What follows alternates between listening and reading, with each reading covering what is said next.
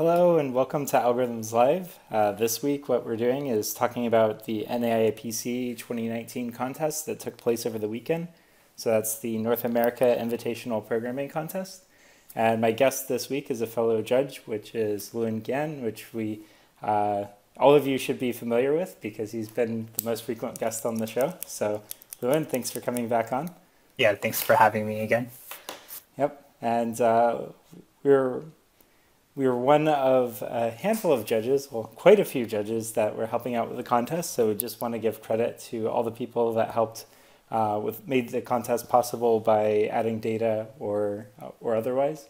Um, if you're interested in future years for like submitting a problem um, or uh, or being a judge, um, you can message me over Codeforces and I can introduce you to the chief judge Van B. But uh, you should be uh, not a competitor and be, be done with the contest. And uh, we're always looking for more judges and problem submissions. Uh, yeah, we definitely need a lot of help on the contest. And um, yeah, everybody does contribute a lot to it. And of course, one of the reasons why we're uh, doing the problem review, so we're going to go through all the problems from the contest at kind of like a high level. Uh, but RobeZH uh, was asking for this from previous years NAIPCs. We haven't really released editorials. Uh, so we thought it'd be kind of cool to just make an algorithms live episode where we discuss all the problems. So what we're going to do is just go in uh, problem order uh, by difficulty instead of by alphabetical or what we estimate the difficulty of the contest to be. So our first problem is subsequences in substring. Uh, so Lewin, do you want to start explaining? Um, yeah, so in this problem, you're given a string S um, consisting of lowercase letters and also another string T, um, also consisting of lowercase letters. And you want to count the number of substrings in S that contain the sub, uh, string T as a subsequence. Um, so uh, the substrings of S don't need to be unique. So like if basically the substring is defined as like two indices or like an interval of the original string. Um, and then uh, as we, um, and we just want to count the number of substrings which have t as a subsequence. So in this problem, the bounds are number of characters in S is up to 100,000 and the number of characters in t is up to 100. Uh, maybe we can give an example of an interval where this works. Yeah, so the current interval that is underlined, or I guess you just erased uh, that. But, yeah. Uh, okay. I'll go from here. Yeah. Okay. Um, so the interval underline does contain does contain t as a subsequence. So we can see there's like um, the first two p's are apple, the first apple, the a is from the second, and then there's two ways to complete it, but it doesn't matter. We just need it to contain it at least once. Um, so that's a valid interval. Mm-hmm. Um, an invalid interval, uh, you might want to show um, could just be like if you took like only three characters or something, right? Yeah, or, or something like this maybe, right? So there's maybe there's a way for us to get the two P's, but then we can't. Yeah, they're not in order. Yeah. Yeah. So like, we do want the le- the letters to be there in the correct order also. Yeah. So um, th- this would also be invalid, right? Yeah, that would be invalid because the A, like we need two P's appear, then an A, then another P. Mm-hmm. Okay, so um, yeah, so we can talk about some approaches. So the bounds on S are pretty high, but the bounds on T are really low. Um, so one thing that might come to mind immediately is just like try all substrings of S and then see what works. Mm-hmm. Um, so how do you check? Let's just try to solve the easier problem of checking if a substring contains a subsequence or like um, another string as a subsequence. So like how do we check if S contains T?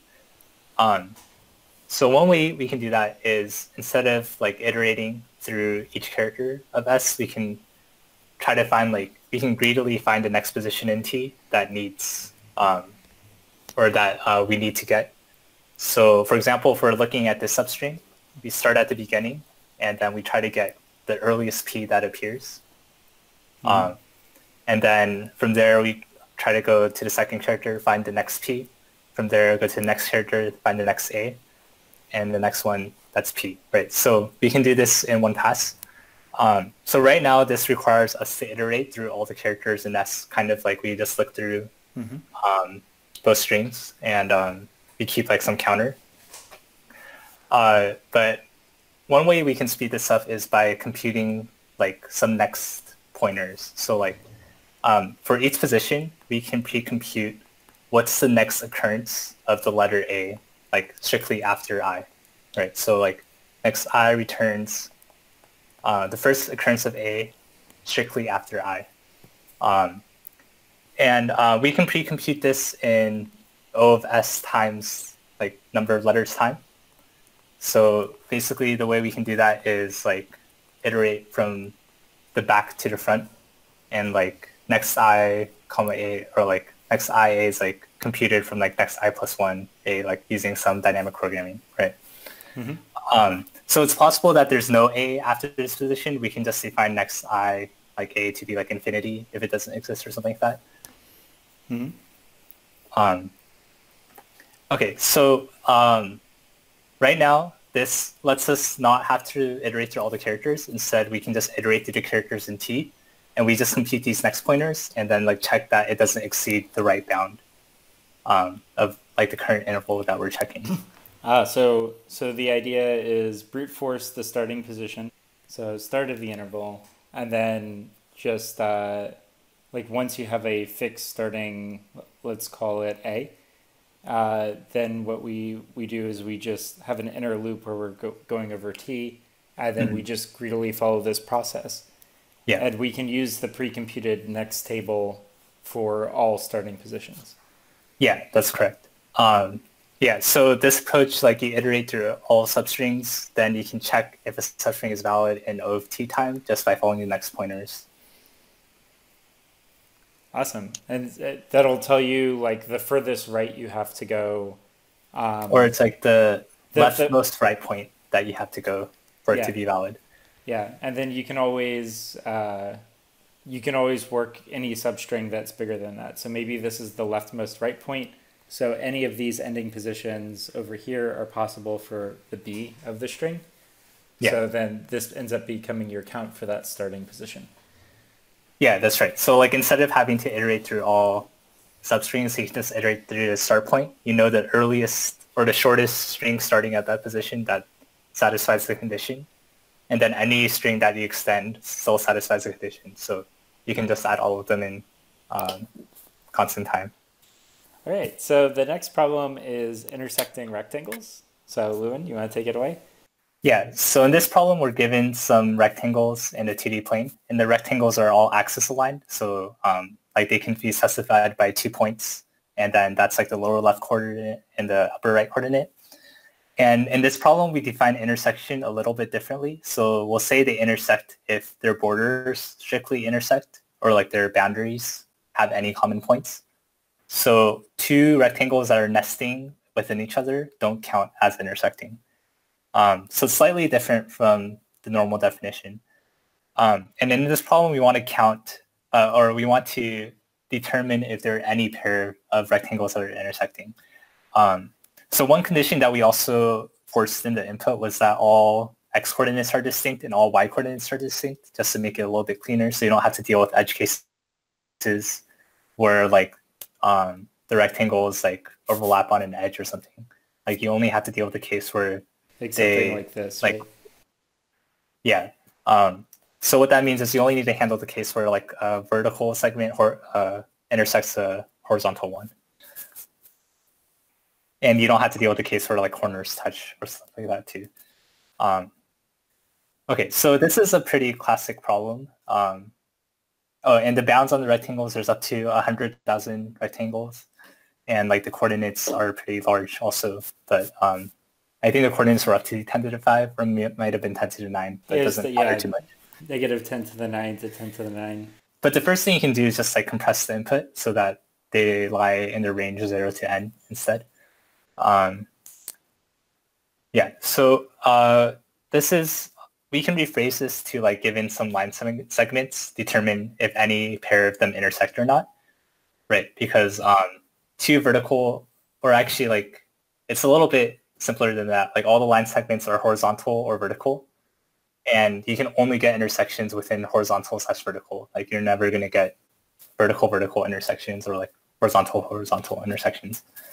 Um, so uh, the easiest way, or there's a lot of different ways to do this. Um, one way is you can use like a segment tree. So um, let's just consider the lines in order, or like um, we do like a line sweep. So um, so let's go from x uh, increasing values of x. So I guess Yeah. your segment tree is on y coordinates. Uh-huh, yeah. So this is our segment tree. Um, yeah. So basically, in this segment tree, we'll keep track of which. Uh, so as we're doing the sweep, we keep track of in this uh, segment tree which um, horizontal lines cross our sweep line at this current moment. So um, it's just like one or zero, and uh, we just want to. Yeah. So in this case, there are two rectangles or two lines crossing there. And then whenever we get a vertical line, what we want to say is like, is there anything that's filled in within this range? Um, so you do have to be a little bit careful, like since these are rectangles, some of them are touching at edges, but you don't want to, or some of them are, some of the uh, like segments are touching at corners. So you want to process like the opening part of the rectangle before adding the vertical lines, and then remove those vertical lines when you like process the closing part of the rectangle. Um, so like when you sort the vertical lines, you need to keep track of whether they're like opening or closing parts of rectangles. Okay. And then the the query of like if anything intersects is we just we just do normal segment tree query and just like Yeah. We can check like if the sum is bigger or something like that. Um, you can keep like a count of the number of things like in this in this range. Okay. Yeah. Um, so you can use like a Fenwick tree also. That's a lot easier to implement too. Mhm. Um, yeah, and so just replace this with that Fenwick tree. Cool. All right, so we'll move on to the next problem. All right, so the next problem we're going to cover is problem A, a piece of cake. okay, yes. So in this problem, you're given a polygon with an, a convex polygon with n vertices, and you're given a fixed number k. And what you do is you choose k random vertices um, of this polygon, and k is between three and n. And then you um, take like the convex hull of those points, and you want to know what's the expected area of this polygon. Um, so yeah, this problem is uh, a little bit, uh, or so the way you can solve this is through like linearity of expectation. So um, how can we decompose the area of a polygon that's cut out? So if you consider just like one line, like one edge of the polygon, or like one edge of the inner polygon that we choose, you can see it cuts off some portion of the larger polygon. Um, so this portion is cut off now. Yeah. Yeah. Uh, so what we can do is we can compute the area of this portion that's cut off, and we can compute also the area or the probability that this edge is included. Um, so the probability that the edge is included is basically we choose the two points that define the edge, and we don't choose any of the points that lie um, clockwise to it or uh, counterclockwise to it. I mean, So if let's say there were a few more points here, we want it's the the probability that this is true and this is true. So let's Yeah. call that uh, pi times pj, and then um, it's also the probability that we don't pick pi plus one through TJ. pj minus one. Yeah, that's right. Um, so the thing is these probabilities aren't independent because we choose k vertices, right?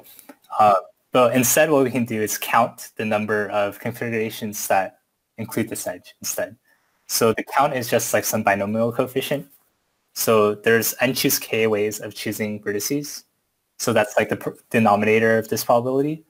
And the numerator is um, like basically you look at the number of points in between and you subtract that out and you choose you do like n minus two choose or uh you do n minus the number of points in between minus two choose k minus two Yeah, Uh, so that makes n sense, so- minus j plus one, or I guess is minus one. Yeah. uh yeah something like that uh and then Okay. choose k minus 2, right? Because um, k minus 2 because we fixed to the the things that are in our partition already, and k minus 2 is like freely chosen within the things that are clockwise to us. Um, so uh, basically, if we compute that for every edge, or we compute the area that it cuts off, and then um, this probability, multiply them, and then subtract that from the overall probability, or the overall area of the polygon. Is there uh, another technique that maybe uses like the cross product trick? Yeah, so another thing is like computing the area of the outside polygon is a little bit tedious, I guess. Like uh, one way instead to represent the area of a polygon is to use like uh, the shoelace formula, which um, like basically you only need to know the coordinates of the each uh, of the points that lie on each edge, right? So it is like a cross product. Yeah. So cross product will give you this area multiplied by two. So this is where zero zero is. And it'll also mm-hmm. be signed. So if it was going in the other direction, it would actually be a negative. And so you can also use this to deal with areas, which is kind of neat. Um, yeah, so basically this is a lot easier to compute than um, having to compute the outside area. Uh, one other thing to note is like some of the precision. So like computing the binomial coefficients might not be feasible because n is up to like 2000, I think, or something like that. Um, so one way you can compute the probability is by using logs. Um, another way is you can kind of compute this probability um, by like multiplying some fractions together, I guess, or like, and if it gets too small, you can just say it's zero and like ignore it from then on. Can you also do like the probabilistic Pascal's triangle? Um, you could do that. I'm not, I think that way it does work too. So if you just do it in doubles, um, I think it should be fine. Uh, I'm not too sure if there were issues with that or not. I can't remember exactly. Okay, so the next problem we're going to talk about is this XOR sequences problem. Okay, yeah, so this is a little bit hard to explain. So first, like we explain a problem, then we try to solve like the reverse of the problem. So um, in this problem, in the first problem, we're given a sequence x1 through xn. And then um, for each number between 0, uh, and we're also given a number n, uh, which is different, or like, which is a separate number. Oh, um, so this is up to m? Or this is n, x1 through xn. And then there's also a number n that's provided as input. Okay, so is it like, but these are different n's? Or n. Uh, sorry, it's like hard to... oh, m? For each number between 0 and 2 to the n minus 1, like let's just call this number i or something for each number between, uh, for each number i in this range uh, we compute a number p of i. So p of i is equal to the index x uh, of like index from 1 through n that maximizes the XOR of like i and one of the x um, xi's or xj, sorry. Um, so p, yeah, uh, sorry. Uh, so p of i is the index of x that maximizes XOR with i. Here's the formal equation from the problem statement. Uh, yeah, and in this case, i is not equal to p of y. Um, and also all the x's are distinct. So this condition is guaranteed to be satisfied for some p uh, for some number. Yeah. So so like intuitively, if you have some sequence, uh, I don't know, like one one, then if we selected this location in this particular particular piece, it, P of I would just be, or P of Y would just be the index. So let's say this is Y. Uh, P of Y would just be the index that maximizes this XOR value. So in this case, would it be 5? Um, so look at it in binary. Yeah, look at it in binary. Yeah. So in this case, like XOR 2 and 5 is 7, which is 111 and yep. that's going to be bigger than anything else that's in the sequence. That like if you XORed it with something else, that's this piece of the equation. So if I took something like one, uh, if I XORed it with uh, y, then I would get three. So one one in binary, and you can see that's smaller than seven, and so there's no uh, better choice. Yeah. yeah. Um, so the thing is, like all the numbers in X are distinct, so there can't be duplicates in there, and uh, we know why like we know the y values for every number in that range. uh, for every number between 0 and 2 to n minus 1. Um, so all the x's are also constrained between 0 and 2 to n minus 1. Um, uh, yeah, so, okay, so the problem is, um, so this is not the actual problem. So actual problem is you're given the array p of i, or p of y, and you want to count the number of x's that could have generated it through this um, algorithm. So this is what's given for all values y, and Yeah. and you just want to know like what what's the input array, like what, Uh, what we want to know the number of solutions that could generate it. yeah yeah what Yeah. what are all possible input arrays that could exist? Yeah. or like the the num the count of them. Yeah, the count of Yeah, ten to the nine plus seven. Yeah, so you take a modulo of something because it can get pretty big. Uh, okay, yeah. So basically, um, there are two different cases to consider when looking at the topmost bit. Either the x's that the x size have like are all set to the same, or there exists like some that are zero, some that are one. If you look at the topmost bit. So in the first case, if they're the same, what I claim is that the resulting array has to have, or like you can split the array into two halves, like the P array into two halves, both of which have to be exactly the same.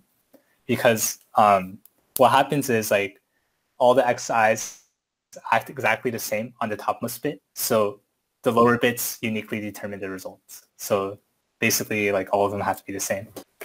Um, in the second case, what we can see is there exists one position that has zero and one position that has one. Um, what I claim here is that the two arrays contain disjoint numbers. Like there can't be any number that appears in both the first half and the second half. Um, if that's the case, then that means that, um, so basically the way to see that is like each number either flips the topmost bit or doesn't. And um, like you can see that it can't be the case that like some index um, maximizes something when it flips something versus maximizes something when it doesn't flip, if that makes sense. Um, yeah, so like one way to think about it is like um, if there is a number xi with uh, topmost bit 0 and a number xi with topmost bit 1, then if you look at all the numbers from 0 to y, like you can split it into two cases, like either the topmost bit is 1 or 0. So if the topmost bit is 0, it can only be maximized by something that, by some xi which has topmost bit equal to 1. Otherwise, it can only be maximized by something that's topmost bit 0. Oh, okay. So you're looking at like, are you going through like P of I in reverse order or something, or are you? Uh, no, I, what I'm claiming is like some structure on P of I. So like, I'm claiming either the two halves are exactly the same or they're disjoint.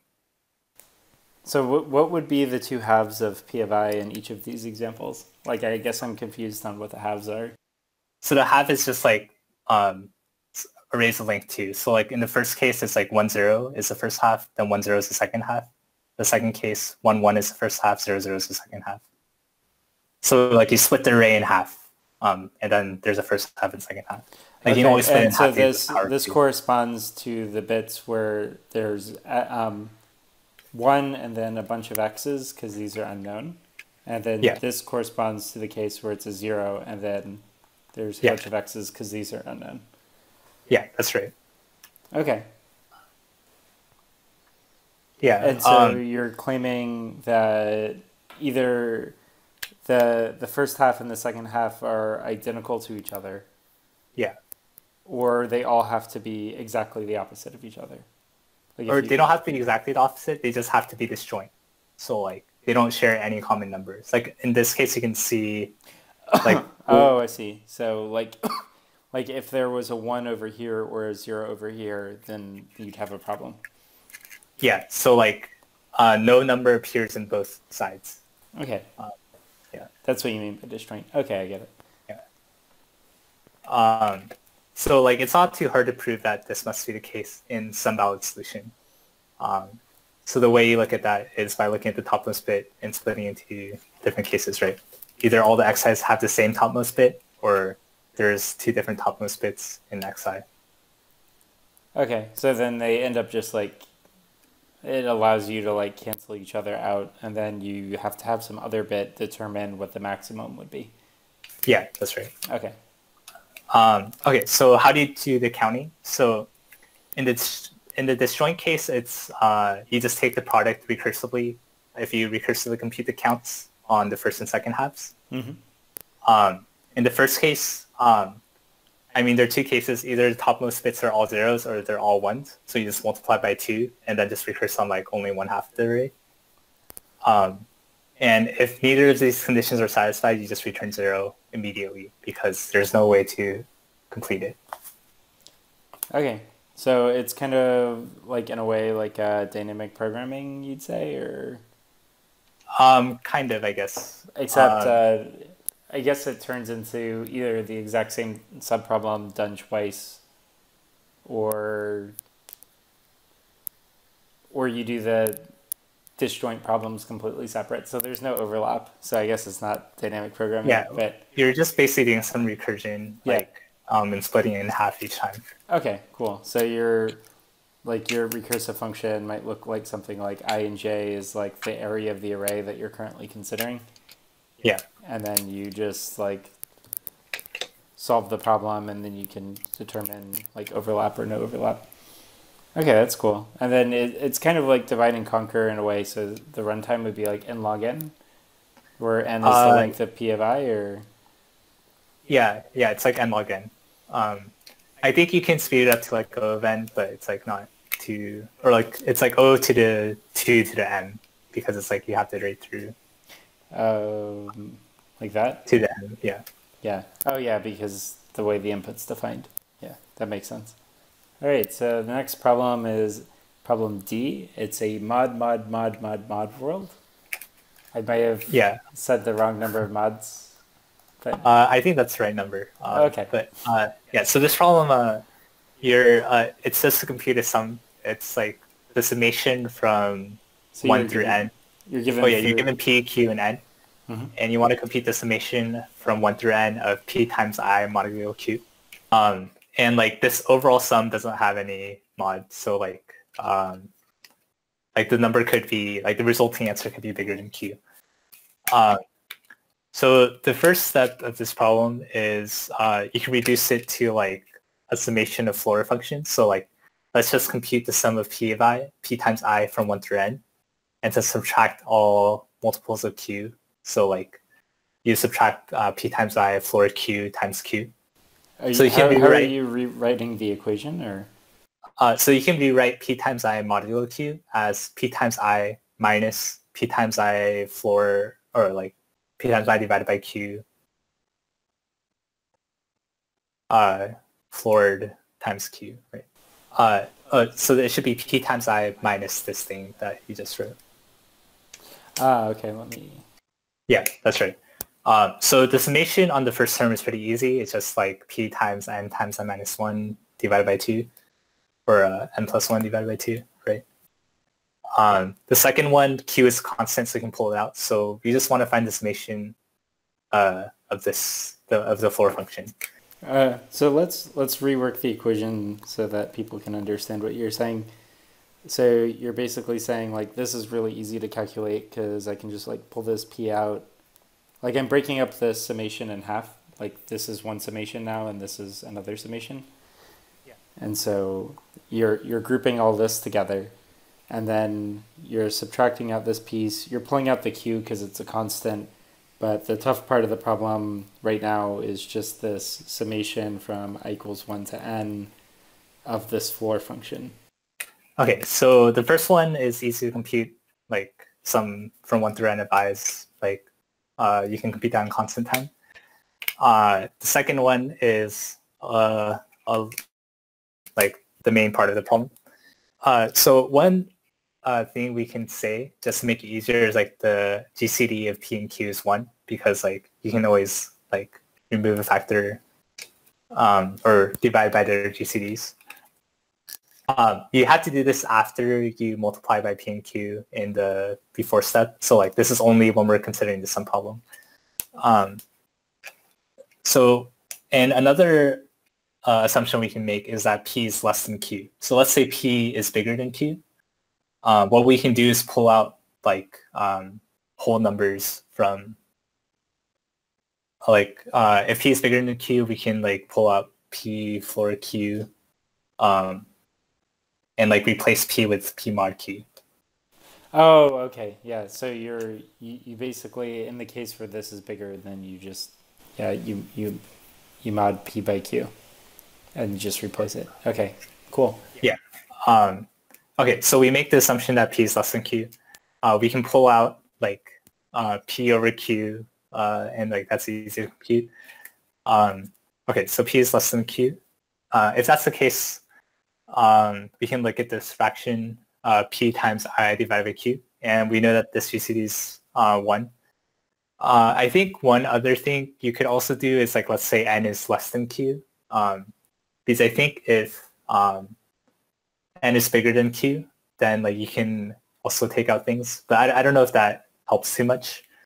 Um, I, I don't think you need that to solve this problem necessarily, but or n should be less than q. I mean, if n is bigger than q, then like um, I think you can pull out some other things um, from there also. Okay, so uh, once you have these assumptions, let's try to rewrite this problem. So the floor of p times i divided by q, let's instead um, compute the number of these fractions such that this number is like less less than or equal or is at least equal to some number n, let's say. What? Uh, so instead of computing this directly, let's compute um, like the number of i's such that p times i over q floor is at least n for some number m.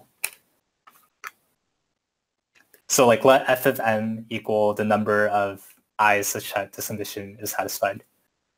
So f of m it is uh, number of i's where this is true. Yeah, and i's between like 1 through n, right? Um, so how do we compute this? Um, okay, so like uh, the floor function is like uh, increasing function, right? So like we can kind of like, um, yeah, we can look for n somehow. Um, but basically what I claim is that the final answer is just summation of n from like 1 through um, some some big number. Summation So uh, before, of yeah, so before we go into how to compute f of n, let's just rewrite our answer in terms of f of n. So what I claim is that the summation of the floors is equivalent to the summation of f of n from m equals 1 to some big number, um, which we'll define at some point. Is, so it's equal to the summation of From m equals 1 to uh, something. Like let's just call it like x or something. Yeah. Okay, so um, and we'll say like x is big enough so that like f of x is equal to zero or something, right? Because like once we get high enough, like none of the higher terms contribute to our sum. Uh, so the way we can see why this is true is kind of similar to, um, I mean, basically we're just counting like uh, everything that contributes at least one contributes to f of one. Everything that contributes at least two contributes to f of two, right? And then like it's just summing summing it in a different way. Okay, so um, okay, so how do we compute f of n? Uh, so f of n, let's rewrite our equation. So um, we know is less than q, right? Because i is less than n. And the equation you have, like the p times i over q, is bigger than or equal to n. so you end up getting like something like this divided by q squared. Uh, or you multiply both sides by q. Oh, oh, I see. So the equation up here, you multiply both sides by q? Yeah. Like the left-hand side and the right-hand side? Yeah. Uh, how does that help when you have the floor function in the way? Um, so I think the inequality is still true if you do that, right? Uh, well, it's an equality, right? Not a, an inequality? Or, or you... Or I, I'm talking about, sorry, the inequality on the top. Oh, this one? Yeah. Oh, okay. So multiply this by q up here and multiply this by q here. So qm. Yeah. Okay. Or like you multiply by q and divide by p. And I think you get like i is at least the ceiling of q times m over p. and so how do you manipulate this?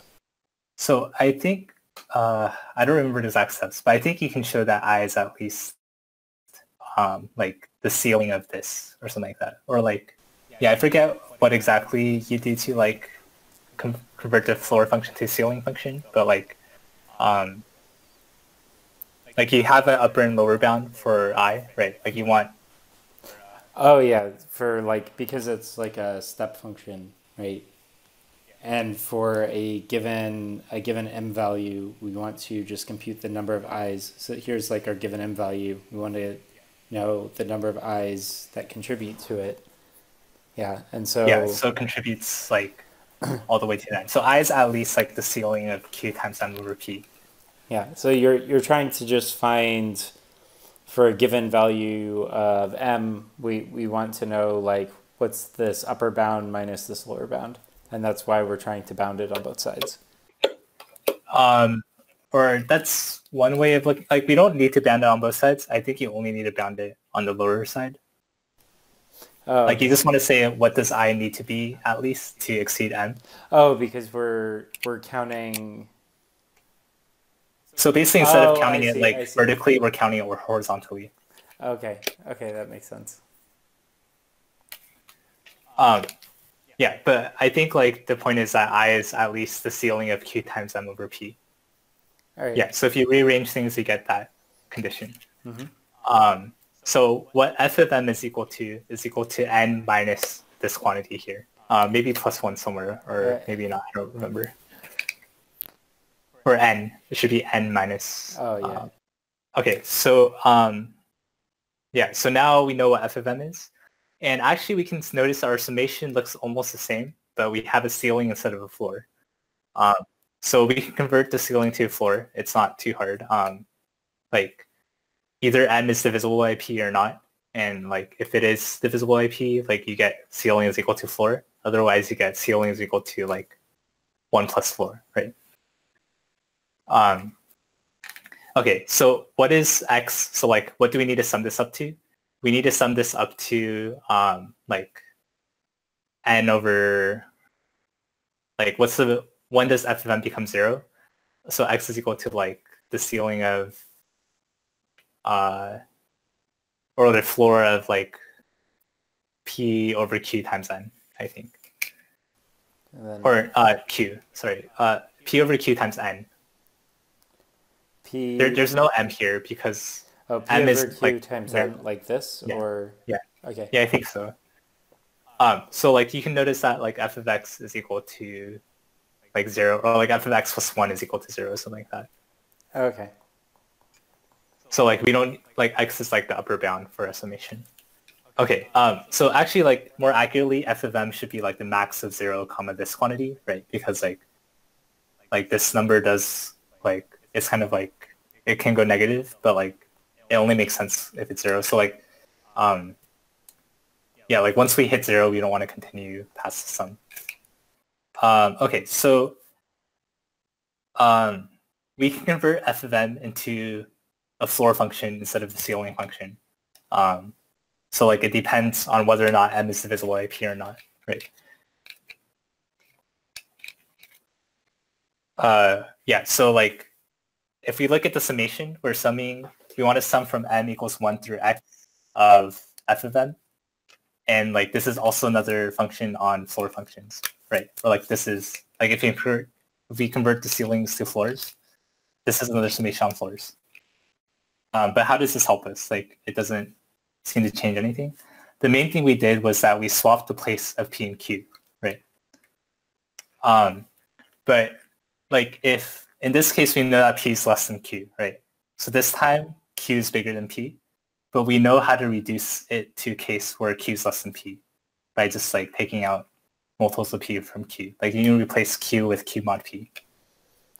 Oh, right, right, right. Um, yeah, so you can just keep repeating this until like it's really easy to solve. Like when one of them is zero, Uh, uh, like So it's like kind of like Euclid's Yeah, algorithm, yeah. like GCD algorithm. Yeah, this this kind of reminds me of the episode I did with um, with Endagorion. He had a similar problem where it kind of just took the idea of Eu- Euclid's algorithm, uh, and you just kind of reduce things until you have the solvable case.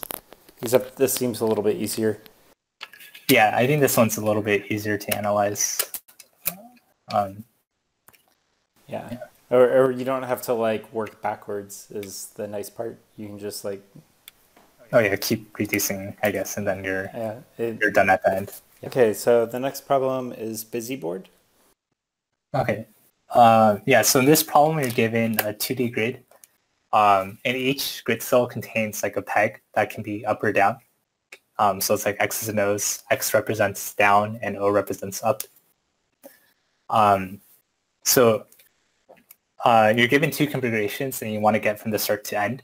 So a valid move is you choose a peg that's up, you hit it, um, and then that changes that particular peg to down, and all other pegs in the same row and column go up to up.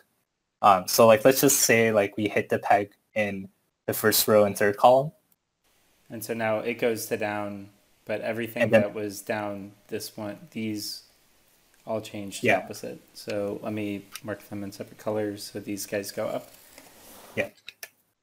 Um, and things that are up stay up. So you're not toggling. You're only changing everything to up and the thing you hit to down. Um, you're not allowed to hit something that's already down or like it doesn't have any effect if you do that. So you can only hit things that are already up and like hit them down and it changes state. Um, so yeah, that's the only operation you can do. And like you're given a start and end configuration. You want to know if you can get from the start to end. Um, the bounds are pretty big so that you can't do a search. Like you have to find a small, smarter solution. So like the bounds are up to like a thousand each. Um, so this problem is just some casework, I guess. Like it is, you just have to like analyze some cases and like make it easier to solve. Um, so one observation is like, if you just like hit a lot of pegs, like you're not, um, you can't ever like hit things so that there's two things in the same row and column at the same time, unless they were like that originally.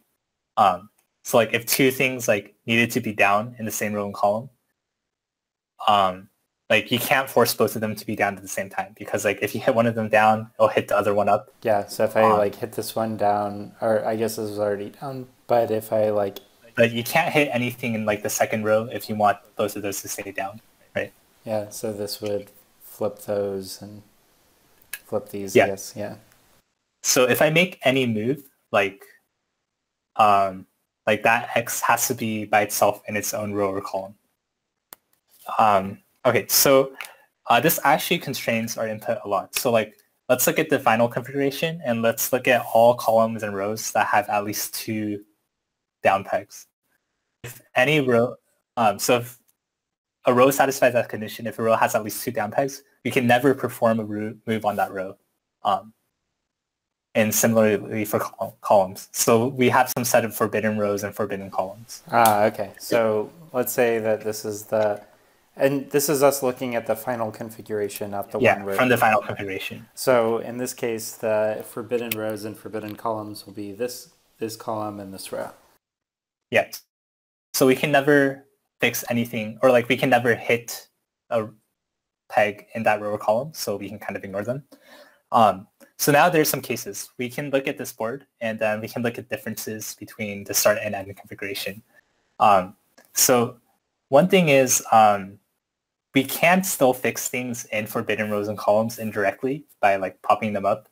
Um, so like one thing is if there's any X in a forbidden row and column in the final configuration that was not in the start, then like obviously it's impossible to solve because we can't hit it directly down. Like the only way to, to fix it is to hit it directly.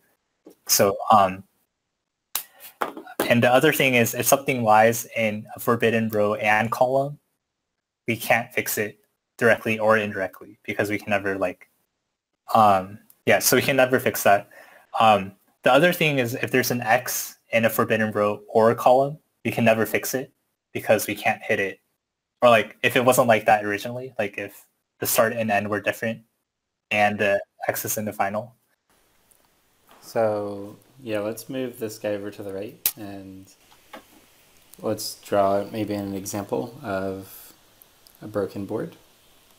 So what would you want to change in the starting configuration? So like, let's say the top left is a no? Uh, so we, if we look at the final configuration, we can't fix the X in the top left col row or top, top left because it lies in a forbidden column. So we can never hit something down in that column. So like that X will never become, like one can never be fixed. So if that condition is true, like we also get impossible. Um, okay, so now, um, yeah, so we handle the case where something lies in a forbidden row and column and something in an X that's in um, a forbidden row or column, which is slightly different. Um, if so, like let's change let's change the top left back to X, and let's change um, the bottom left to an X. Uh, so the thing is, this configuration might be uh, solvable, right? Because we could pop up this X indirectly if we hit something in the row. Like the column is forbidden, but we could fix it if we could hit something in the row, right? Or the X should be in the final configuration. Oh, so put it, okay. Or no, uh, the final configuration, like, so the bottom left start should be X. The bottom left final should be O. And then the bottom right final should be X, let's say. So in this case, we can fix this X because we can pop it up by hitting something in the same row, right? Um, okay, so I claim um, in almost all other cases, the answer is possible. Um, so all the remaining X's we know lie in their own column or row, right? Because like we already marked which ones are forbidden and which ones like the ones that are not forbidden have to lie in their own row or column, just by definition. Um, so we can always hit just those x's, and like it, they don't interact with each other. They'll like they'll always pop up everything in their same row column.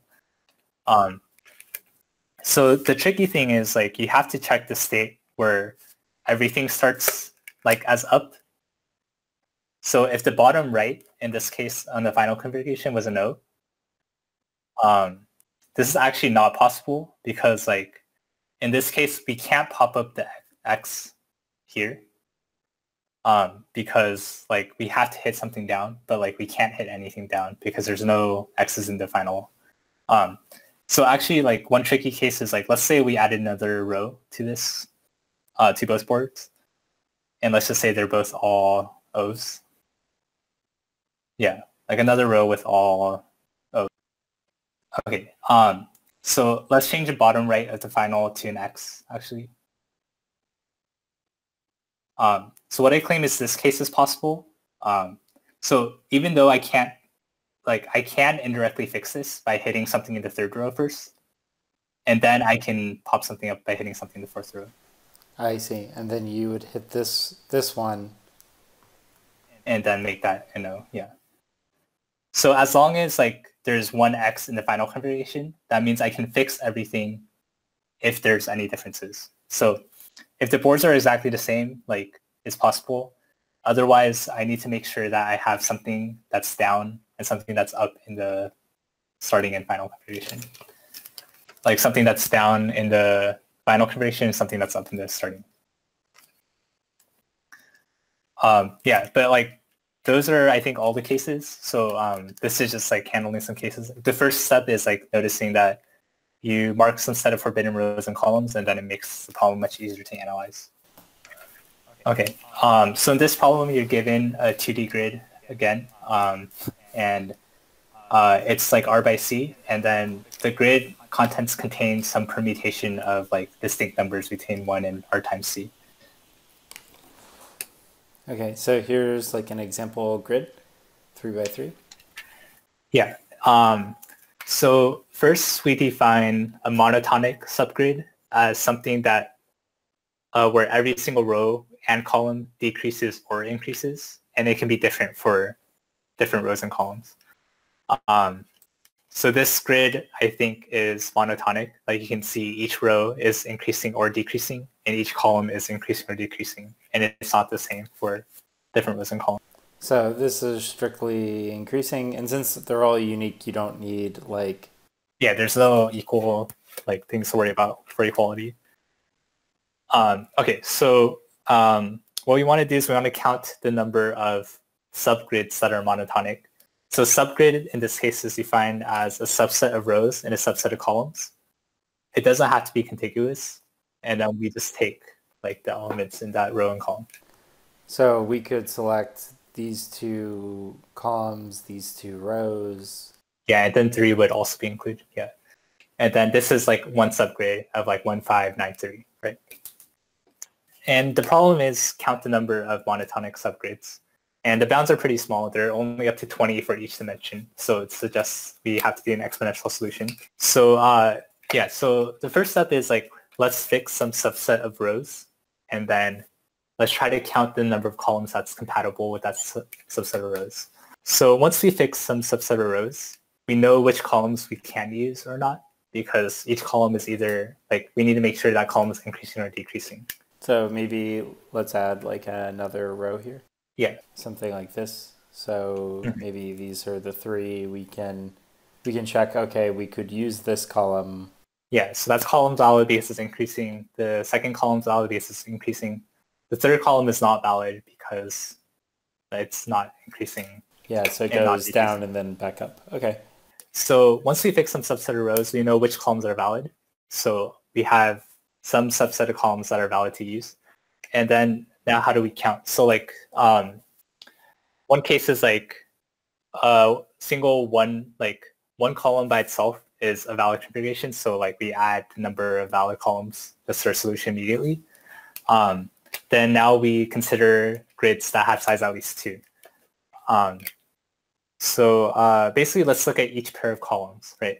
So each pair of columns uh, has some inequalities between those pairs of elements. Actually, let's choose the first and second columns because the third column is not valid, so we're not going to consider that. Um, so each uh, pair of columns, for each of the rows, it has some inequality, right? Either it's greater than or less than. So you can write it as some like bit string saying like um, the first thing in the subset is increasing, the second thing is decreasing, the third one's increasing, so on, right? Um, so for this pair of columns, it has like the bit string like one, zero, one, right? Where one represents increasing and zero represents decreasing. Um, okay, so now what um, if we want to pair up more than two columns, we need to make sure every single pair or every single adjacent pair has the same like signature, right? Like has the same bitstring signature. Um, that way, like we make sure that it's the same direction as we go across. Ah, so the so these bits are basically just telling you what direction this is going. So we're pairing up these two columns. So this is one because it's this way. This is zero because it's this way, and this is one because it's this way. Okay. So one way you can think about this is like, let's say we fix the directions of like which way we wanted each row and column to go, right? Like this is a little bit too slow right now, but let's just say we did that. That we can compute the number of like valid configurations with using some DP, right? We just make sure each like the next column that we add is compatible with the previous column we added for this particular string, right? And then um, we can do like an n squared DP from that. Um, so it's like counting the number of valid column, uh, sets of columns ending at a particular location, matching a certain bit string. Um, so this is a little bit too slow right now if you try to iterate through all the bit strings because it'll take like um, 2 to the n times like the number of bit strings. So it's like 3 to the n, I think, um, times m squared. Or it should just be 3 to the n times m squared. Oh, right, because it's subset yeah. of subsets. Okay, yeah. Yeah. So this is a little bit too slow right now, but let's see how to speed it up. Um, so the thing is like, we can keep this map or like this DP, we can compute this DP simultaneously for all bit strings. Um, like we don't need to like iterate through bit strings and then compute this like for each bit string because like in the vast majority of cases, like we're not going to touch all subsets, right? Like there's only at most m squared valid patterns that appear. Um, n squared coming from like pairs of columns, right? Yeah, that that makes sense to me. Um, yeah, so uh, we can like only look at the interesting patterns um, in some sense, right? Like we can um, do our DP normally, but um, like we can have like some sort of map which maps like bit string to count, right? And we can show that this map won't be very large. So we can do like the DP in one pass simultaneously for all patterns. Um, and then I think that gives you a runtime of like of 2 to the n times m squared. And this is fast enough now. All right, so the next problem we're going to cover is problem F, which is heaps of fun. Um, yeah, so in this problem, you're given a tree with n nodes, um, and it's rooted at node at some node, and um, in each node there's a value b, and um, what you do is you choose a number between zero and b randomly, and it can be any real number. It's not necessarily an integer, and um, you want to know what's the probability that this um, tree forms a heap. and in this case, we defined heap to be a min heap, so each node has values strictly smaller than um, its subtrees. Okay, so it has to be strictly smaller, so this would be a heap with these values because this is strictly less than this. And then if we swap these two, for example, then uh, this doesn't agree, so it's no longer a heap. Yeah, yeah, that's right. Um, yeah, so there are two different ways to approach this as far as I know. So I think the first approach, which almost everybody did, I think during the contest was um, you look at uh, the probability distribution of like, um, so it's some sort of DP. So it's a little bit tricky because um, the values are real values, not necessarily integers. If you're familiar with like uh, I, I don't remember what they're called exactly, like CDFs. Um, I don't remember what it stands for, or like PDFs, I think. It's like a probability distribution function, I think, and it's like the cumulative distribution function. Uh, I don't know if those are the right things exactly, but um, basically it just says like what's the probability that um, this node has value less than or equal to x, um, and everything below is a subtree. Um, yeah, so if you compute this if you're able to compute this probability distribution, then um, the answer is just like the probability that like one is less than or equal to like infinity or something for some very large value at the very end. Um, so the key observation for this approach is that the probability distribution is a polynomial. Um, and you can use that to like multiply two polynomials when you're at some subtree to combine, and then you need to integrate something.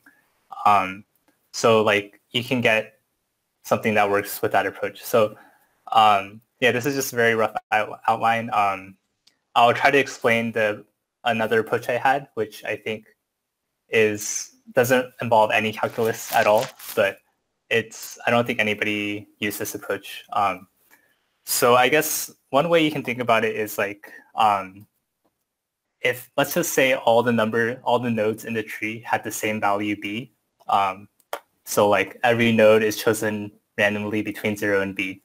Um, what's the probability that this tree forms a heap? Um, so the way you can solve this is like you can look at the tree. So you can say what's the probability the root is the smallest value out of all the nodes that I choose. And since I chose all the random uh, all the values randomly, um, it's just equal to like 1 over n, right? Like 1 over the number of nodes in the tree. Um, because like every distribution of like uh, values is equally likely, and the minimum is like probably one over n of lying at the root. Um, but the thing is, this logic also holds for every single subtree. So like for the topmost node, it has probably one fifth. For this subtree circled, it has probably one third of being the smallest at the top. And for the leaves, that's probably one of being the smallest. You can show that these are independent in some sense. So if you just multiply all these probabilities, then you get the probability that this tree is a heap if all these values are the same. Um, so uh, how do you generalize this back to the problem where nodes can have different b's, right? Like you don't know which range it lies in. Um, so one observation is you can just split the range or like split the set of real numbers that you can map to to like n different ranges given by like the n different b's that can appear. Um, and then what you can do is you can kind of like fix what's the number of nodes that lie in this subtree in this range um, and uh, do DP based on that kind of. Uh, so basically, uh, if you're at like node, the root node, you can just say like, what's the probability it lies within 0 to B1, B1 to two, B2, B2 to B3, and so on. And that's like uh, not that hard to compute. It's just like B2 minus B1 minus the length, or divided by the length of the range. Um, so you can get the probability that a certain node lies within a certain range. And um, so what do you mean by length of range? Or like length of um, like the original B value of that node. So like if the root had like BR or something, then it's just divided by BR. And so what do you mean by B1 and B2 then? Uh, so like I guess the Bs are just like sorted. Uh, like maybe it's easier to name them something else like A1, A2. It's just like the sorted arrays of Bs. Oh, okay. And so these are the indices then, or? Uh, yeah. So like we're we're mapping it to a specific range and just saying like it lies within in in between these two values. And um, the reason why this helps is um, I want to like fix the number of nodes I put in this like tree in this range because like I know how to solve this problem when all the numbers are in in the same range, right? It's just like you take one over the subtree size, like over all the nodes, uh, or and take the product over all, the, all of those. Um, so now you can get some DP solutions. So your DP solutions are just like, what's the number of ways to um, distribute, uh, or like what's the probability of success given that the root node or like the current node that I'm considering lies within this range and like the subtree size is equal to some number, right? So like your DP has three parameters, like uh, the node you're at, which range it lies in, and like the size of the subtree. And uh, yeah, then there are a few cases like one is uh, you like you can split up uh, how many things go into each child's child node, like how many uh, subtree nodes you want to allocate to each child. Um, and then you also like if you ever reach subtree size zero, you need to like go on to the, like the next range because you want to make sure you're bigger. So right now, like this DP, um, it has three numbers, each of which can all go up to n. Uh, so and each of them take like n time to update if you consider each child. So right now, like this looks like n to the fourth, but you can reduce it to n cubed by um, like there's some trick where like you only iterate through like the subtree size rather than like all the way through n for the last parameter and like that'll speed it up to n cubed. Oh yeah, that's the trick from like the looking for a challenge book, right? Yeah. Um I don't know what it's called exactly, but like um yeah, you you do need that if you want to use this approach. Um I do want to mention like the polynomial approach, it's possible to do an n squared. Um you can actually get a factor of n out. Like um, if you notice that like all the like left endpoints of the intervals are all the same because like all the numbers are between zero and b. Um, so that does simplify the problem a lot and lets you solve it in n squared. But we wanted to allow like different approaches to work, so that's why it's like this. Uh, we didn't know actually like n squared was possible before because we all kind of approached it more generally. Yeah. So uh, like MIT's solution was n squared, right? Or uh, I think almost most people's solutions might have been n squared, like if they added this optimization. Like, but it's like sometimes hard to tell if you added it or not. So like the difference is very small. All right. So the next problem we're going to talk about is this problem I, which is cutting strings. Okay. Uh, so in this problem, you're given a string of lowercase letters and a number k, and you can uh, remove k substrings from the string, and uh, you want to end up with the lexicographically largest string um, that can come from this process. Um, so like let's say k is equal to like 2, for example. Um, I can cut out the first three characters and then the two characters between the d's. And um, I get this string like DDA, and like I can show that's the lar- lexicographically largest string I can get. Yeah, and in this case, lexicographically larger, if like a string x is a prefix of the string y, then like y is lexicographically larger than x. So like you do want it to be as long as possible. Um, if you like, yeah, like a like four a's is bigger than three a. Usually for like problems with lexicographically larger, you just try to do it greedily. Um, so you can do a greedy solution for this problem, uh, but there are uh, a lot of edge cases, I guess. So you do have to be careful. Um, so let, us just say, um, let's look at the highest value character you have, right? Like the lexicographically largest character in your string. Um, so currently right now it's D. Um, so ideally what we want is to put all the Ds in the front, right? Like we want to cut everything that comes before D and like remove it from the string. Um, so uh, let's try to do that greedily first, right? So like we can check how many string substrings do we need to cut if we want to get all the Ds at the beginning. And that's easy to compute. It's just like you look at the number of like uh, cuts you need to make between the Ds or something like that. And um, you can get the number of substrings you need to cut out. Um, so if k is bigger than that, then obviously you want to do that. And then you can recurse on the suffix of the string and then um, look for like the next largest character and keep repeating that. So the interesting case is k is less than the number of cuts you need. So like you need to determine like what are the optimal cuts I need to make. Um, so your first goal is to maximize the number of Ds at the beginning of the string. Um, so uh, the first thing you can do is like any any Ds that appear at the beginning of the string, you can kind of get for free. Like they just come no matter what you do. Like uh, you don't need to explicitly make any cuts to like get those. So um, let's just assume that the string starts with a non-D character, um, just initially, just to make it a bit easier to analyze.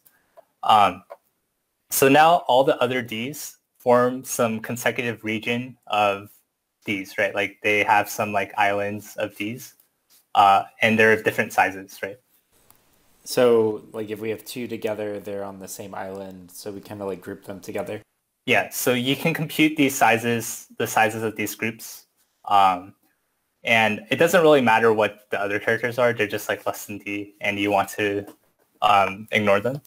And what I want to do is if I can cut K sub uh, K strings out of the string, I can get K of these islands. Um, that's what I'm claiming. And like, that's not hard, too hard to see that like you can definitely achieve that. Um, and like, you can't do any better than that. So um, obviously, we want to take the k largest islands from the string. Um, the problem is now like there is some suffix of these that like we want the last one to still be like lexicographically largest, right? So like in that case, we need to use like let's imagine like k is equal to one in that case. If k is only equal to one, like I want to take the longest like islands of these but then I want the lexicographically largest um, suffix from there, right?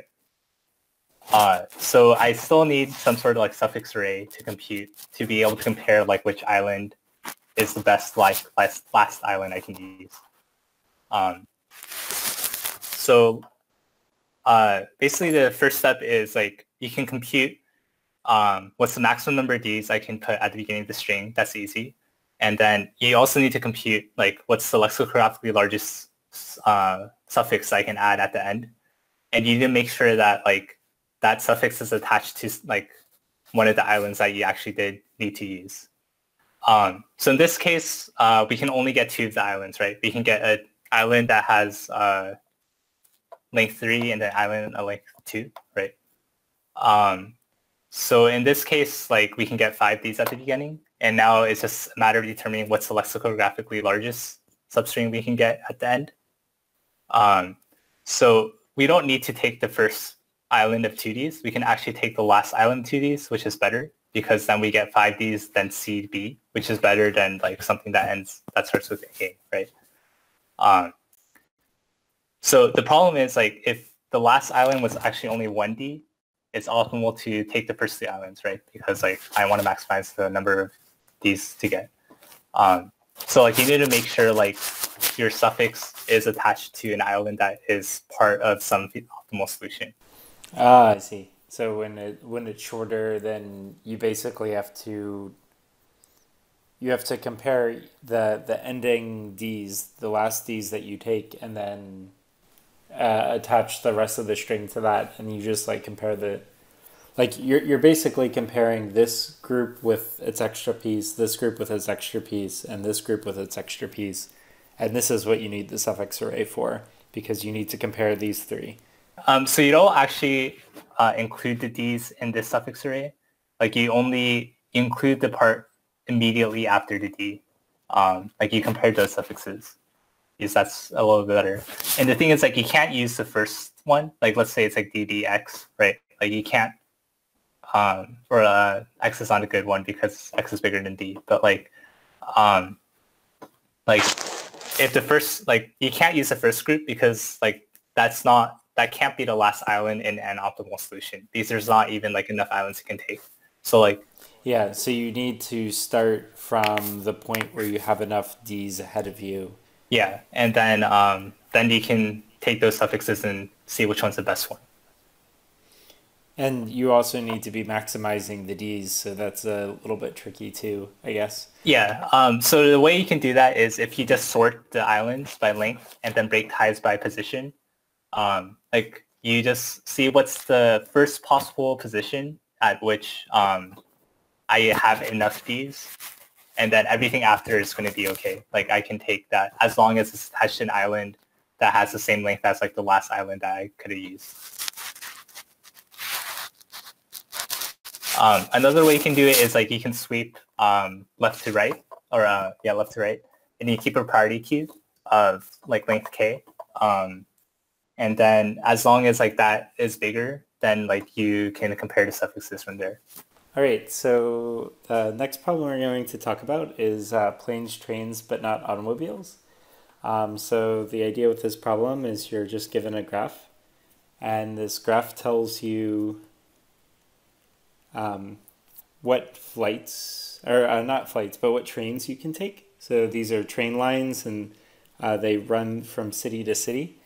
Uh, and you can stay on the same train for, for a long period of time. So it's always possible to go from like city one to city four. Um, but once you hit the end of a train line, uh, so the train lines are all DAGs, uh, like the graph formed by this is a directed acyclic graph. Um, so you can end up taking flights to um, basically make it so you can visit all cities. So the idea is you want to visit every single city uh, and you want to take the minimum number of flights. So maybe this is a train line that I end up taking from city one to city four, and then I take a flight to city three uh, from city four, and that ends up giving me um, the answer. Uh, and so I only uh, need to take one flight. Um, but the the problem also, and so I can start in any city. That that's another piece. Um, so that's the first half of the problem is can you just tell me what the minimum number of flights are? And the second one is you want to know in an optimal solution which airports you can visit, and it's across all possible flights. So uh, for this one, there are a few different train lines you could take. So I'll just write them out here. And so you can see that the, the small arrow is a train line, but these bigger ones are a flight. Um, so you can see these are the airports I would end up visiting uh, because I'm either visiting it to leave that city or visiting it to come into that city. Um, and these are, since these are the only possible um, answers, you basically take the union of all these and that tells you what airports it's possible to visit in some optimal trip. Um, so you want to spit that answer out. Um, and you can rearrange the flights in any order. You can uh, fig figure something out like this. A pretty uh, classic problem for the first half called DAG cover. Um, so the idea is in this kind of problem, you're just given a directed acyclic graph and what you want to do is you want to know the minimum number of traversals so that you can um, visit everything in the graph. Uh, and so what you realize is um, it's basically like a path cover of the DAG.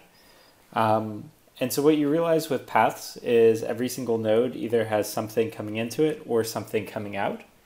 Um, and if it's at the head of the path, there's nothing coming into it. And if it's at the end of a path, then there would be nothing coming out of it. So what I can do is I can kind of take each vertex and split it in half. And so, um, and make a bipartite graph from this idea. So the nodes on the left, what I'm going to draw are just nodes from the graph that um, this represents what's leaving this vertex. And then this is splitting the node on the right. And this is uh, going into some vertex. And so what I can do is I can just take all the edges in the graph and just point where they leave to where they enter. And you end up getting a graph like this. And if you end up finding a uh, maximum matching, so maybe I take this edge and this edge and this edge, um, if I take all the edges that were involved in the uh, maximum matching, then that's going to correspond to a path in my DAG cover. Um, and so uh, you'll see, I guess you wouldn't, wouldn't ever point to yourself, so maybe this is a bad example. Um, so maybe something like this. Um, but so this would be like one goes to two. So this is vertex one, this is vertex two. Uh, actually, that, that's not a matching either. One, one goes to two, two goes nowhere, and then three goes to one. So I'll point three to one. And then four goes to three. So I'll point four to three and you'll see that um, the number of paths is just going to be n minus this maximum matching because every time you add one of these matchings, you're reducing the number of things that has in degree 1. And so this would correspond, if you want to pull out the actual paths, you just look at the maximum matching, you pull out the paths, and then that corresponds to a DAG cover. So uh, when do you take flights? So what you're going to get is you're going to have a bunch of paths. And if you don't have something uh, coming into you, or if you don't have something uh, leaving you, then you're flight. And so what, what you want to do is you want to know, is it possible to um, basically unmatch some vertices in this DAG? Um, and so for every single vertex, you need to know, can I unmatch this vertex and match it with something else? Uh, in terms of uh, uh, maximum matching, or our bipartite matching will have already found something that would have unmatched, um, is the idea. And so you can do this naively because you can just find augmenting paths. Like you could um, maybe start at some vertex and I, it's like, okay, I need to find something else to um, to match to if I uh, I want this one to leave. I need to, like for example, uh, if I want this node to no longer be involved in the matching, then this node needs to match to something else coming into it. And so um, maybe maybe there's something like this. And so I can exchange this edge for this. But there could be some really long sequence of augmenting paths that gets you uh, an unmatching. Um, but uh, if you want to do this naively, like do just augmenting paths, that's a problem because the n in this problem is up to 10 to the fifth. Um, so what we can do instead is realize that the paths for the unmatching um, can form a kind of general graph. So if I'm on the left side and I'm currently uh, matched to something, then it there'll be a forward edge. So I'll just redraw this graph over here. So it ends up matching uh, to this node, it's going as a forward edge. But if I'm going from left to right, if I'm taking an unmatched edge, it can go in the opposite direction. And so anything that's a matched edge will go from left to right. Anything that's an unmatched edge will go from right to left. So you end up getting a graph like this. And if you want to find if a path um, can end up hitting an unmatched position, what we can do is we can march mark all these unmatched positions that are on the left. And um, and so if I want to find like what can be unmatched from the left hand side of this this graph, I can take the reverse of this graph, mark all the unmatched positions, compute the strongly connected components, and then just do a DP. And so the DP will basically be percolating uh, this unmatching to all the nodes that can figure out how to get to it through a series of augmenting paths. Um, so hopefully that makes sense. Lewin, does that make sense to you? Uh, yeah, I think that makes sense. I mean, basically, you you just want to find like uh, whether an unmatched node can reach a matched node through some augmenting path. Yep, yep. Uh, but uh, apparently, there's even like a simpler solution. Uh, so I don't know what the judges did that found like an even simpler solution, but I was just thinking of it in terms of these augmenting paths. And the other thing to, to realize is like it may look like it's a bit tricky at the beginning or the end. Ah, let's move back. Um, the beginning or the end of the sequence, uh, you don't actually take a flight. But the thing to realize is any of these flight pattern or any of these train patterns can be rotated. So I could easily take this one, three, four and swap it with a two. And now I'd have a flight. So like bring this guy over here. This is the two. And now I have a flight from two to one, and that's just a different sequence. So that detail ends up not mattering. Okay, so the next problem we're going to talk about is this problem called Knight of the Tar cards, Tarot cards. Uh, and the idea for this problem is you have some like knight on a chessboard, and it's an infinite chessboard. And if you remember, knights move in this kind of a pattern. Um, except in this case, we're looking at a generalized knight. Uh, and so instead of going up two and then over one, like a knight would do, uh, it can be any A-B combo um, for knight moves. Um, and the first like subproblem you have to figure out here um, is if I'm at some position at uh, P1, is it possible to reach position P2? So this is kind of just a subproblem of the problem we're trying to solve. And the harder version of this problem we're trying to solve is some locations on this chessboard have cards that can make you jump new distances. Uh, so instead of AB, there's like a different AB value. Um, and so at that cell, what you can do is you can jump to that cell, possibly purchase some tarot card, and then it'll improve the ability of like jumps that you can make um, from that point on. Uh, so you have some starting location. You're trying to reach cell 00, zero, and uh, you can do that by purchasing any number of uh, tarot cards um, from where you started to where you end up. Uh, okay, so the first subproblem is like just figuring out if I'm at some position P1, can I reach some position P2? So let's think about a simpler problem is instead of thinking about it in 2D, let's just think about it in uh, one dimension.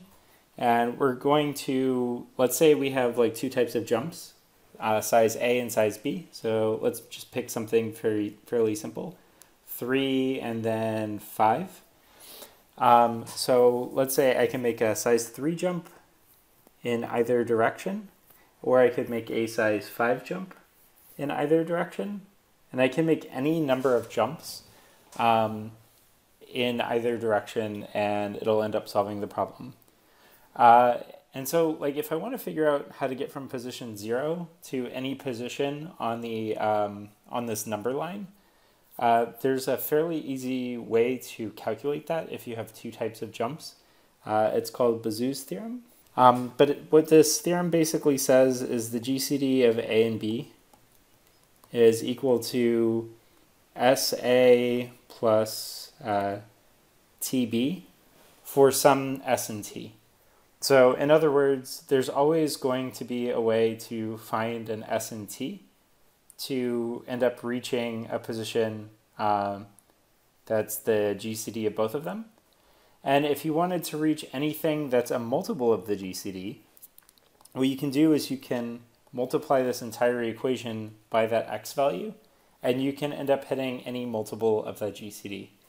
So in this case, the GCD is 3 and 5. So what we can do is we can end up reaching every single cell in that case. But if uh, in, in either direction. And if you actually wanted to find this S and T, you could use the extended Euclidean algorithm to find it. And so uh, another example would be something like, let's say the jumps were 2 and 6. Then we could end up reaching any even position on the number line. Okay, so how does that help us uh, solve the 2D version of this problem? Um, well, we've we basically figured out, like in the 1D version, like what cells we can hit if we had like two different numbers. Um, but let's try to make our knight uh, independent of each dimension. That, that's like a good starting place. So let's say the jumps are two and then, well, we'll, we'll just do standard knight moves. Um, so if it's two and one, what we could do is we could go one right and then two down. And then we could go uh, up two and then over one. And you'll notice that it basically is uh, those two moves together give us a way to jump two to the right. Uh, similarly, we could do something where it's like over two and then up one and then back and then over two. And that uh, allows us to jump four to the right. So we could end up hitting this location and this location through a series of jumps. Um, and what, what you'll realize is um, it's just if you take the the two numbers here, if you just multiply that by two, then you'll end up getting the one-dimensional jump case. And in fact, if you um, just take the GCD of the the two numbers that you can jump by, uh, you can end up uh, hitting anything that is two times the GCD of those numbers on the number line for the same reason by Bezout's theorem. Uh, so in this case, we can hit all the odd cells. And this also holds in the y dimension because it's just the same thing mirrored. So then the only thing that's a little bit tricky is when you end up making a two jump over and then maybe a, um, a one jump up, like this, let's say, then you end up having that exact same uh, location piece, but mirrored again. So you, you can see like in all dimensions, like this, this is just like an offset position um, based on one, one knight's jump. But I end up getting the exact same um, set of things. So maybe I draw it in a different color. But the, the whites were like original set of two jumps, and then the odd jumps are going to just be a different color. Something like this. So you can see they're all uh, size two jumps away from each other. And this is, um, and then you can mirror the same thing in the other direction. So you you'd actually have something like this. Um, so what you'll notice here is this kind of forms like a grid case where every single cell is possible for 2, 1. Uh, but you could have a little bit more complex cases. I don't know, something like uh, 3, 1, for example um, we, get a little bit different behavior. So maybe this is our, our knight. We go up one over three, uh, so three. So it goes to this cell, and then it can hit this cell, it can hit this cell, so anywhere on, on the two. Um, but when I jump over one, like I make a one move instead of a two combo move that keeps it in the same dimension, you'll notice that it's actually offset from the white.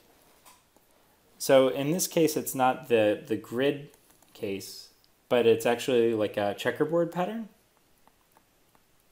So if you look in the solutions, uh, you'll see some people saying like, oh, there's a sequence of moves that is uh, on a lattice or a grid.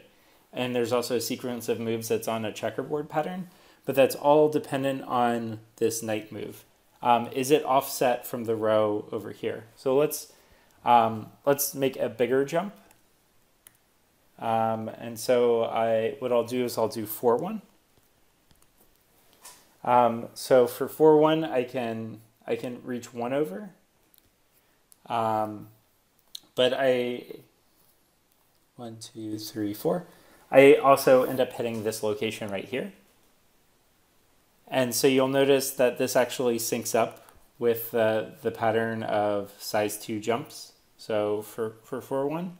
Um, and so what this will do is it'll actually form uh, the, the grid pattern um, that we're talking about.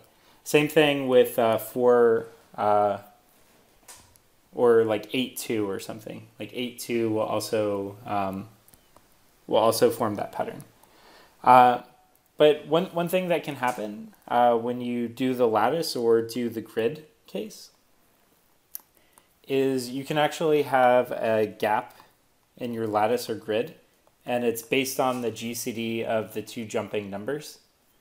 Um, so you can have something more complicated, like this. Uh, so you can you can define it as either it'll be uh, a lattice like this, so we'll call that the G0 case, or you can end up having a checkerboard case and this is just for one pattern of knight's moves that's defined by GG. So I'll just call this like a zero flag if it's the G0 case, or a one flag if it's the G1 case. Uh, and it turns out if you buy new move patterns, um, you can take the GCD again of that new move pattern and the current move pattern because it the new move pattern is going to be one or two of any of these cases. And what you'll get is a smaller GCD value, so a smaller G value, and you'll get one of these numbers. And so what you realize is if you're at some position and you have some number of tarot cards, it doesn't matter what your tarot cards are. Like the cells that you can reach can be uniquely defined by the GCD value of the cards, like the knight moves that you bought off the card. And depending on what type it was, was it a type 1 or was it a type 0? Uh, so was it a checkerboard or was it lattice? Um, and so there aren't that many of these. Uh, I forget what the exact calculation was. Um, so if you're doing this, you can save this as a DP state or a state of a graph, like think Dijkstra's algorithm. And you can just run Dijkstra's or you can run a DP. And so the, the once you figure out one of these two patterns, like the code's actually like a pretty standard problem uh, in terms of like dynamic programming or uh, Dijkstra's. And the reason the dynamic programming works, like you, you may wonder, oh, how is there a DAG? Well, this GCD value just always goes down. So as long as you only transition if your um, state of reachable cells became narrower, then that's good. Uh, and then from a given state, the only thing you want to know is, is the goal state 0, 0 reachable from where you currently are with the set of moves you have. All right, so the next problem that we're going to talk about in the set is problem C, cost of living. Um, yeah, so in this problem, you're given uh, some like items that uh, you can buy, and you know like the price that it costs in each year, or like let's say you need the price in each year. Um, and there's only at most like 10 years and like 100 different items you can get. Um, for each different year, you know there's some inflation rate um, for uh, like between like year i and year i plus one.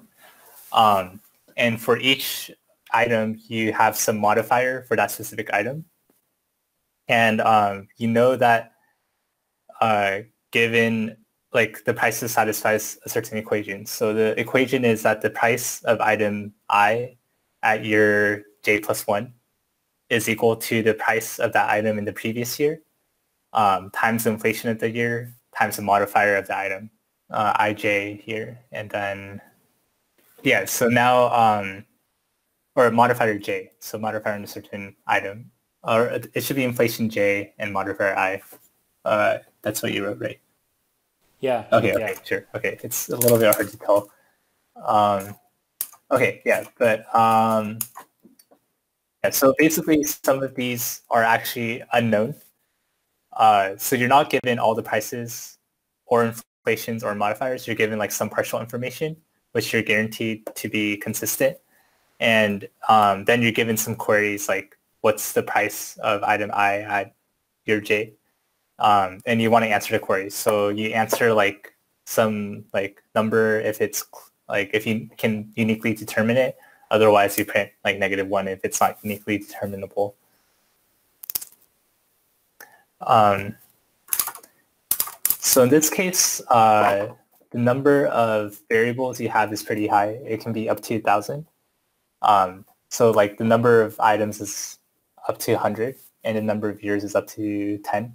So there can be up to like a thousand different variables that you want to solve for. Um, but let, us just say, let's just come up with a simpler solution first. So um, the first step that you need to take is to change this problem from multiplications to additions. So the way you can do that is take the log of every of both sides.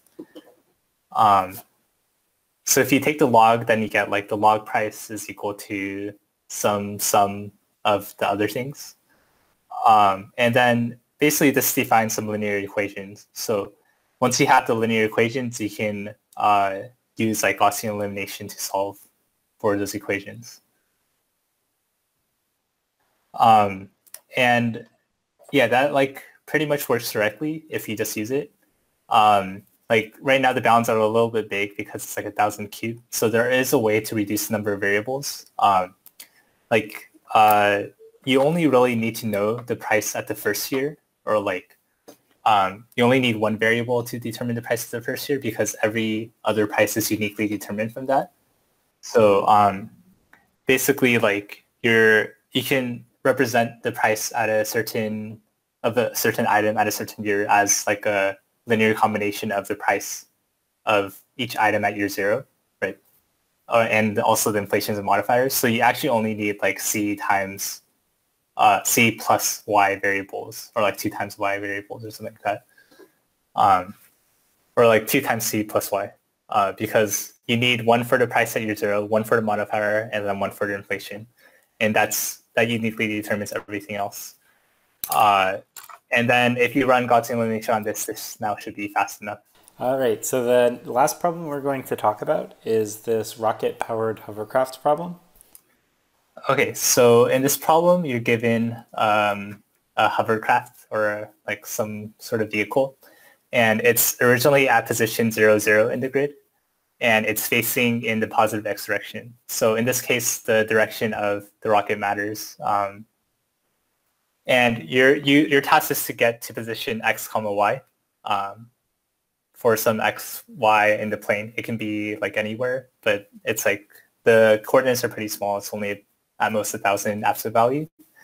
And um, in this problem, you're given also the maximum speed you can travel and also the maximum speed you can rotate your car in. Um, so uh, in this problem, there's no acceleration. You just basically instantly go to your max speed and you instantly go to your max rotation. Um, you also have the restriction that, uh, so basically the task is to find the shortest time needed to get to position XY given your speeds. So like you have a number V for your veloc maximum velocity and then a number W for your maximum uh, speed of rotation. Um, and uh, yeah, so basically uh, you also have one additional constraint, um, which we added just to, uh, which I believe is true for like an optimal path. Um, but you can only start and stop your velocity once, and you can only start and stop rotating exactly once. And you have to go at full speed on when you like start and stop for those. Um, yeah, and then your task is just to come, uh, go to the end in the shortest time possible. Um, so maybe we can do like an example. So like, let's just say um, your like xy is like x is zero and y is like 10 or something. And so like it's directly above you and you're facing originally to the right. And um, so like, let's just say like, I forget what the sample looks like exactly, but like if I move and rotate at the same time, I kind of follow something that looks like a semicircle. So, um, and if it happens that like those are the right speeds, um, then it works out. I forget what the exact numbers are, but I think one of the samples is matches this. Um, so like if I turned on both my forward velocity and also rotation velocity both at the same time for the full duration, I'll reach my goal by just following the semicircle. Um, and uh, in this task, like basically you have to decide when you want to like turn on your like velocity and when you want to turn on your rotation.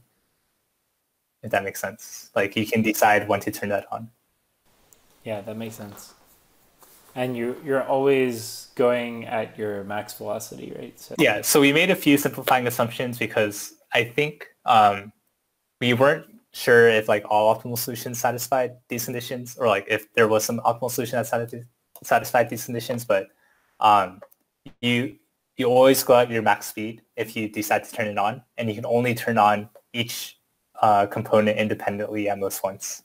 And uh, so basically there are a few different cases for this. So like um, if you're facing directly towards your destination, obviously like you don't want to turn anymore. You just want to go max speed towards that uh, destination because uh, there's no other way you can get to that faster. Straight line's the fastest way. Um, the main trickiness comes for from when you're uh, when you want to rotate at the same time, right? Or like you want to be able to rotate until you're facing directly at the destination and then go forward. Um, so as we saw before, if you both, if you move and rotate at the same time, your path follows some semicircle. And since you're going at max speed for both of them, it defines a circle or, or that defines what the circle kind of looks like. Um, so the thing you can control is that you can control kind of a little bit on how um, how much you rotate before you move at all, right? So basically you can kind of rotate this circle around zero, zero a little bit before. Or, uh, or I guess like if you rotate before moving, um, then you can rotate the semicircle more uh, in a different direction. Um, but also like you can also stop rotating at a certain part of the circle and um, just go in a straight line. And that happens, like you can kind of do that by taking the tangent from the final destination to the circle that you're traveling. Oh, I see. Yeah. So you can like start. You could start. So you always start in a semicircle arc. Um, you can kind of move the circle around a little bit, and then you go straight. Like, and that's the tangent.